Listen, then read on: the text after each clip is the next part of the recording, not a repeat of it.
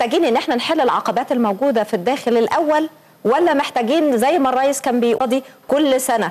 وده هيبقى مؤتمر للدول ال- المحتاجة إلى دعم اقتصادي فعلا إنها تيجي وتشارك وتاخد فرصها من هذا المؤتمر. المشكلة المشكلة عندنا جوانا عندنا. حسين صبور رئيس آه، جمعية رجال الأعمال المصريين من كام من فترة كده كان في مؤتمر راجل وسامعه بيقول إن هو قعد خمس سنين عشان ياخد تصريح لمشروع رخصة مشروع. اللي هو حس... اللي هو الراجل المعروف واللي علاقاته بالدنيا كلها. فأنت متصور لما راجل يتعب في ده. الراجل الاجنبي اللي جاي عايز يستثمر. بنكفره في البلد عشان يستثمر. طب ما هو القانون القضية- الجديد يا أستاذ عماد آه، من يومين كان محل آه، من مجلس الوزراء بيناقشوه اللي هو بالاختار لا. يعني مجرد إن هم بيختاروا في أوهام. كتيرة موجودة عندنا. اللي هي الاختار والشباك الواحد. نعم. مش قضية شباك واحد ولا عشرة القضية مش إن أنت تديني رخصة النهارده بس عايز اشتغل بكرة صح؟ مش عارف عايز اضمن انه ال- ال- الضرائب ثابتة ما بتتغيرش كل يوم. الجمارك عايز اعرف ان سعر العملة ده هيبقى ثابت لحد قد إيه. في مجموعة حاجات كتيرة جدا. الحكومة ورئيس الوزراء والوزير سمعتهم في مرات كتيرة جدا بيتكلموا مع مستثمرين زي الفل وممتاز وعندهم رغبة صادقة. بس اللي بيعرقل هم الموظفين الصغيرين من وكيل وزاره وانت نازلة. اللي هو بيطلع أيمانات المستثمر وكل ما تعليه الكلمة من معنى إما إن هو عايز رشوة بعضهم طبعا مش كلهم. إما إنه خايف يوقع فيسائل إما إن الأمور مش واضحة ويقول لك أنا مالي أنا مش هفضل خلي الراجل الكبير يمضي لي فبنقف. فأي نوع من الاستثمار هيجي يستثمر وهي ظروف كده. دي دي المشاكل اللي هي الحقيقية. غير ده بيبقى أي كلام في هذا الموضوع. غير إن أنا أحل المشاكل الحقيقية اللي هي تضمن طبعا حق الدولة. في الأساس وحق المستثمر وحق في المكسب. المستثمر إنه في المكسب الحلال. ها؟ ما لم يتغير ده فإحنا بنضيع وقت. والكلام الباقي هيبقى كلام شعارات بنستهلكه في قعدات وفي جلسات وفي تصريحات؟ طب- طب والحكومة عرفت ده لأن إحنا طلعنا عشرات قوانين الاستثمار. زي بالظبط في مشكلة الإعلام يقول لك ميثاق شرف مطلوب ميثاق شرف للإعلاميين. عندنا عشرات المواثيق. هي القضية ميثاق مطلوب القضاء على ال- ال- ال- طب الظاهره ليه اللائحة التنفيذية؟ طيب، زي ما قال ال- الدكتور علاء إنها لحد النهارده لم تصدر اللائحة التنفيذية الخاصة بقانون طب أنا الاستثمار ارجو أرجو بالظبط هو دي مربط الفرس. أنا أرجو إن هم يجاوبونا ليه لعله؟ سؤال سؤال أكثر تخصصا في ملعب الدكتور علاء يعني اقتصاديا هل نحن عاجزون على إيجاد مناخ حقيقي جاذب للاستثمار؟ حضرتك آه، في سياق حديثك قلت لا العقليات موجودة والفكر المصري موجود والمصريين آه، عباقرة إلى آخر كل هذه الجمل التي ربما يفهم من سياقها. مش أنا بقول ده الحقائق بتقول على أرض حقيقة الواقع. طيب، بدليل سيادتك. لو حد طلع بره شوف بيحصل طب إيه هذه العقليات آه، عندما تأتي للداخل تجد أنه المسألة أشبه بلوغاريتمات صعب صعب حلها أو تحقيقها على أرض الواقع.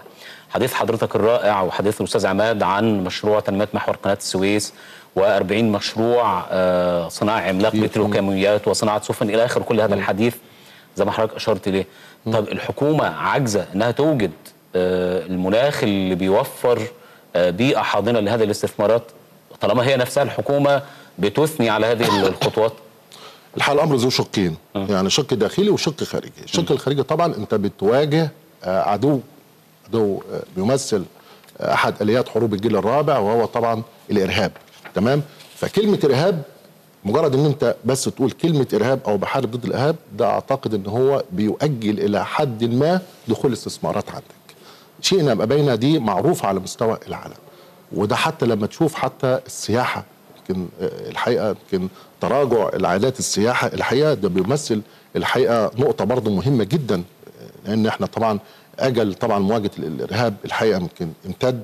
الحقيقة فده يعتبر تحدي خارجي أثر بالسلب على تدفق الاستثمارات على الدولة المصرية خاصة بعد طبعا مؤتمر شرم الشيخ الذي عقد في الفترة الحاجة الثانية وده مهم جدا اختيار الكفاءات. وده أمر أعتقد أن لابد أن إحنا نحط خطوط عريضة وأتمنى الأستاذ عماد في منشطاته وفي آه، مقالاته إن هو يركز عليه لأن أنت حضرتك لما بتتكلم بتتكلم على تقارير دولية حتى لما تيجي تشوف إن أنت بتحتل المرتبة الأخيرة في على مستوى العالم تمام؟ في تعيين الأقارب وال والم- وال- والمحسوبية والواسطة بتحتل المرتبة الأخيرة. فده أعتقد إن هو المرتبة الأولى أصلاً. يعني الأولى عالميا؟ آه، يعني آه، الاخيره على فكرة- في النزاهه في يعني في الأولى آه لكن هي على فكرة في مدركات الفساد هي بتيجي بت- بالعكس. أستاذ عماد في تحدث. صراحة عن بعض الموظفين الصغار ربما هم المعرقل الحقيقي بعضهم بيبحث عن رشوة بعضهم يخشى توقيع هي آه، هي هي هل هي, هي, هي بعضها. الدايره هي الدايرة. كلها الحقيقة المنظومه كلها لابد يعني هل هل مشكلتنا بس في في النوعية دي من الموظفين اللي هم. معطلين لا لا لا مش دي مش دي. موظفين ما هم دول بتكلم بوجود الحالة هم بوجود الحالة العامة دي. لا أنا بتكلم على اختيار الكفاءات. منها محافظ منها وزير من الكبار القيادات. لابد أن يكون هناك اختيارات. من رئيس الوزراء حتى كمان لابد أن تكون هناك اختيارات بكفاءة وبوجود نوع من التخصص والمهنية والحرفية أيضا. تمام؟ لابد أن يكون هناك اتجاه حقيقي لاختيار وانتقاء الكفاءات. وده أعتقد إن ده المربط الفرس فيه إن إحنا فعلا نقدر نستغل إمكانياتنا ونقدر إن إحنا نستغل الأشياء اللي ممكن إن إحنا نقدر إن إحنا نقف عليها ونقدر نحقق ميزة تنافسية من خلالها. آه، أستاذ عماد يمكن المجالات اللي تم تنفيذ في إطارها المشروعات الخاصة كنتائج للمؤتمر الاقتصادي كانت مركزة في ثلاث مجالات الطاقة الكهرباء النقل. مصر بتملك إمكانيات ضخمة في وموارد طبيعية مختلفة زي ما كان بيتحدث الدكتور علاء. في أي إطار بترى إن الثلاث مجالات دول بس اللي دايما المستثمر بيبحث آه، فيهم عن الاستثمار في مصر؟ يا فندم المسائل في الاستثمار يعني نسبة وتناسب وقواعد بسيطة جدا. يعني ما فيش حد بيخترع العجل. إيه اللي بيخلي الناس يروحوا الإمارات مثلا أو يروحوا دبي أو يروحوا الصين أو يروحوا كل الحتت؟ أفريقيا أثيوبيا دلوقتي. من أوائل الدول نموا في ال- في القارة الأفريقية. لأنه أنت بتوفري يعني المستثمر عايز يكسب وعايز يبقى حاسس ب- وعايز فرص كويسة. أنت بقدر ما بتوفري ال- ال- الفرص دي ويبقى الأمور واضحة بقدر ما بتجذبي إضافة طبعا للعامل المهم وهو الاستقرار كما تفضل الدكتور علاء لأنه ده عامل مهم جدا. لأنه تكلفة الاستثمار في المناطق ال- ال- المضطربة بتبقى أعلى. فبالتالي ممكن يطلب شروط أفضل. والمخاطر أعلى. ف- إيه اللي يخلي واحد يعني هل هتصور إن واحد يجي يستثمر بكرة في شمال سيناء في العريش يعمل برج؟ مش هيحصل. لازم يبقى حاسس إن فيه إن الشعب يتكاتف عشان نقضي على الإرهاب وبالتالي يبقى بعدها ال... فبالتالي ال... ال... إحنا ال... الأمور واضحة. ال... الأم- ولازم نمشي في المنظومة كلها. أنت بتعملي قوانين واضحة وحاسمة وبتعملي بيئة تساعد على ده مش بس القوانين. إحنا عندنا قوانين كتيرة في حاجات كتيرة جدا. بس بتتعرقل على امضة موظف صغير بيقرف ناس كتير. أنا أعرف رجال أعمال يعني فعلا بالتعبير كفرانين لأنه حد بيوقف على ورقة أو خايف يمضي وحاجات بت بت بتتعطل بمليارات الجنيهات. يمكن اللائحه التنفيذيه لما حاجات تطلع. كتيرة قوي فهو يعني ومش بس للأمانة أنا أنا شفت رئيس الجمهورية كنت حاضر معاه في الفيوم في كوم أوشيم لما قعد مع وخاطب الحكومة وقال لهم ارجوكم خليكم شجعان وتخلصوا من الجمود وهقعد مع المستثمرين بنفسي. يومها الراجل كان يعني اللي هو واضح إن من كثرة التفاصيل قال هقعد وأمضي لكم أنا بنفسي. لما رئيس الجمهورية يصل به الأمر يقول ده معناها إيه؟ معناها إنه في كوارث تحت. إزاي؟ طيب رئيس الجمهورية مش برضه يعني مش يقدر الراجل يقرأ كل ال- المشاريع ويطلع عليها ويمضي عليها. المفروض في وزارات بتشتغل وفي هيئات. إزاي أنت يعني دي مشكلة مصر حقيقية. مشكلة الإدارة مشكلة فقدان الك... انعدام الكفاءات تقريبا. كلنا عمال نكتشف إنه إنه إن إحنا عندنا في حاجات كتير ناس في خرابات. طيب هو ده التحدي مش ال- يعني لما أنا وما أقدرش أمشي في مشروعات كبيرة قوي إلا لما أكون ضامن إن الأمور ماشية صح عشان لا قدر الله ما افاجئش بكوارث بعد كده. عظيم. ما أنا عايز عايز ناس تشتغل ويبقى عندها كفاءة وقدرة على اتخاذ قرار وفاهمة وبتحب البلد ووطنية. والفاسدين يركنوا على جنب والمطبلاتية والحرامية والناس اللي بيطلعوا كده. بالتأكيد بالتأكيد دي المساله منظومة على بعضها لازم تمشي للأمام مع بعض. في الدقائق الأخيرة المتبقية منهم نعرف رأي حضرتك ورأي الأستاذ عماد في فكرة طرحت أيضا آه، ربما في ختام مؤتمر شرم الشيخ منذ حوالي عام وهي مسألة دورية انعقاد المؤتمر. لعل بعض المسؤولين تحدث عن هذا الموضوع منذ حوالي العام. وأيضا بعد المؤتمر شهدنا بعض المؤتمرات البسيطة في بعض المحافظات مؤتمر مطروح أعتقد آه، ربما أوجد بالظبط، شيء آه، من آه. شيء من الحراك الاقتصادي بشكل أو بآخر ما- الفكرة ده يا دكتور من من حيث المبدأ هل تراها وجيهة بانه الدولة تتبناها دورية انعقاد المؤتمر حتى وإن كان في مختلف محافظات الجمهورية ليس. بالضرورة أن يكون مؤتمر دولي حاشد كما كان الحال في شرم الشيخ ولكن ربما مؤتمرات شبيهة بمؤتمر مطروح الاقتصادي. بالظبط هو يمكن الحقيقة بيخدم على كذا مجال. الحقيقة يمكن المجال الأول آه، بيعمل حوار مجتمعي حقيقي وده أهم حاجة. ليه؟ إن أنت تنتقل من التخلف مش إحنا كمصر أي دولة من دول العالم الثالث أو ال ال النامية انها تنتقل من التخلف إلى التحديث أو التقدم إن يكون هناك نوع من الحوار المجتمعي. يبقى يصل إلى حالة الاتفاق على هذا الأمر إن هو ينتقل من ال- ال- التخلف إلى الحداثة. وأعتقد إن مؤتمر شرم الشيخ الحقيقة يمكن آه، على ما أعتقد سبق مؤتمر مهم جدا وكان مؤتمر دولي الحقيقة في شهر مارس أيضا قبل مؤتمر شرم الشيخ بأيام كان في أسوان.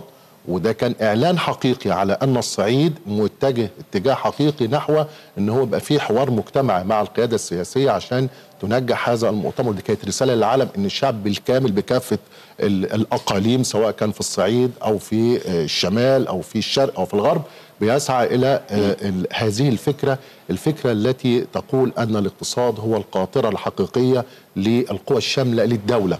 وطالما الاقتصاد هو القوى الحقيقية التي تمثل قوى شاملة للدولة فلا يجب فيجب أن يتكاتف الشعب. وأعتقد كمان يمكن في هذه الأيام إن شاء الله خلال أيام مؤتمر الحقيقة يمكن جامعة ال- المنصورة الحقيقة بتقيمه في شرم الشيخ في نفس المكان. وده إعلان حقيقي على أن هناك استمرارية حقيقية في التفاعل مع هذا المؤتمر. طوال الفترات القادمة إن شاء الله عشان نقدر إن إحنا فعلا فالمفروض كل محافظة مثلا تعمل مثلا مؤتمر شبيه مؤتمر مطروح لفرص الاستثمار عندها في كل محافظة ولا ده هيبقى مبالغة زيادة عن اللزوم؟ لا أعتقد إن ده مهم جدا لأن كل محافظة لها خريطة استثمارية المفروض. كل محافظة لابد أن وده ألف ب لابد أن يكون لها خريطة أو هي موجود لها خريطة استثمارية بتحاول إن هي تعرض كل هذه ال- الفرص الممكنة أمام المستثمرين سواء كانوا محليين أو عرب أو أجانب. وبالتالي لابد إن كل محافظة تسعى جاهدة خاصة إن كل محافظات بتمتلك الكثير جدا من الإمكانيات. وأعتقد إن ده بس مطلب حتى. وإن ده تحقق برضه هتجد نفسك بتعود إلى نقطة البدء مرة أخرى فكرة توفير المناخ الجاذب للمستثمر. ممكن المحافظة تنجح في تسويق ما لديها؟ توفير المناخ برضو مش عايز إن أنا أتكلم في توفير المناخ توفير المناخ ده كلمة مطاطه لابد أن تكون لدينا الإرادة الحقيقية والتصميم. التصميم إن لابد أن يكون منتج مصري حقيقي على أرض الواقع. ومش هقول لك حضرتك تنافس بقى آسيا الصين ولا ولا ولا أوروبا. تمام؟ انت انت المنتج ده هيدخل إلى القارة الإفريقية. لا بديل أمامك إن أنت تستغل هذه هذه الزخم من التكتلات الاقتصادية وتحاول تجمعها وأنت جمعت فعلا في شرم الشيخ ثلاث تكتلات لا، اقتصادية امبارح- كبيرة. امبارح بس قرينا عندك كمان تكتلات في إفريقيا. حاول تجمعهم تحت إطار واحد. امبارح امبارح قريت خبر يا أستاذ عماد برضو شاركنا النقطة دي لعلها برضو مؤشر خير إنه شركة من شركات صناعة السيارات في مصر هنا بتصنع الاتوبيسات آه للندن.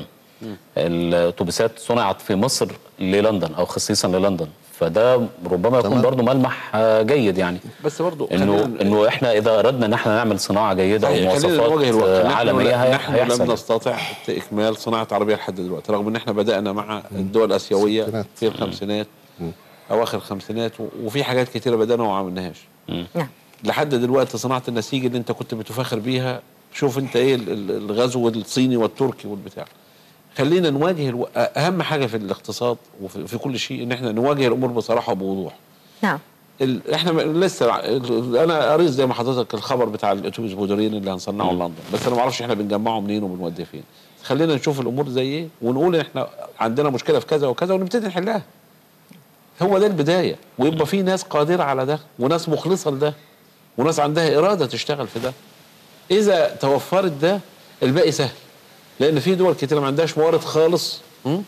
زي ال- ال- اليابان. اليابان بس ورغم ذلك العقلية هي نعم. ال- الأساس والبشر هم. الأساس وكوريا وال... نعم بالتأكيد إحنا بنشكر حضراتكم شكرا جزيلا على وجودكم معانا. دكتور علاء رزق رئيس المنتدى الاستراتيجي للتنمية والسلام بشكر. حضرتك شكراً جزيلاً. واستاذ عماد الدين حسين رئيس تحرير جريدة الشروق شكراً. بشكر حضرتك لوجودك معنا شكر دائما موصول لحضراتكم غدا. إن شاء الله حلقة جديدة من قلب العروبة النابض دائما من القاهرة. إلى اللقاء.